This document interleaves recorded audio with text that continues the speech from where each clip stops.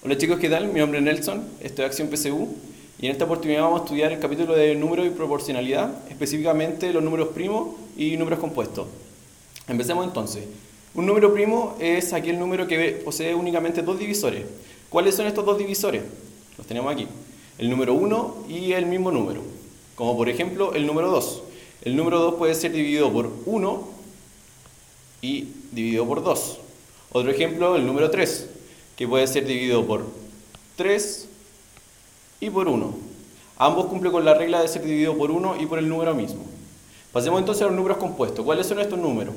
Son aquellos que poseen más de dos divisores, como por ejemplo el 1, el mismo número y cualquier otro divisor que encontremos. Tenemos dos ejemplos para que quede mejor eh, explicado. Sería el 4. El 4 puede ser dividido por 1, puede ser dividido por 2, y puede ser dividido por 4. Entonces ya tenemos las tres reglas cumplidas, que dividirlo por 1, por 4 y por otro número. Otro ejemplo a continuación sería el 12. El 12 puede ser dividido por 1, por 2, por 4, por 3, por 6 y por 12.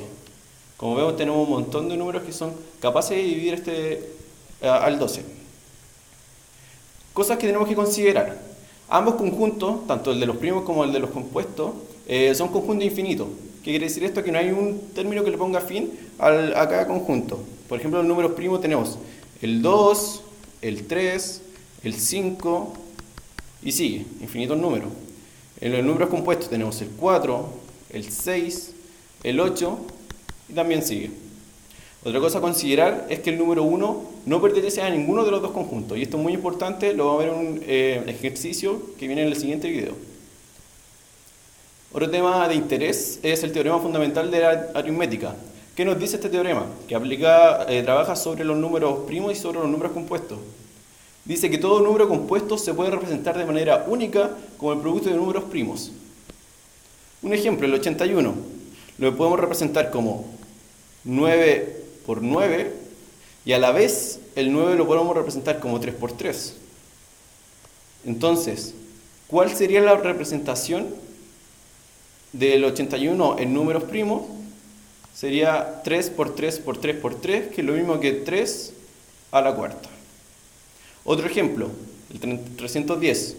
Este número puede ser representado como 2 por 155, ustedes lo pueden corroborar, y el 155 puede ser representado como 31 por 5. La descomposición termina cuando llegamos solamente a números primos. Allí podemos chequear que el 31 es primo, el 5 es primo y el 2 también es primo. Entonces la representación de 312 sería 31 por 5 por 2. Entonces este sería el video completo chicos, los dejo invitados para el próximo video de ejercicios y nos vemos en una próxima ocasión.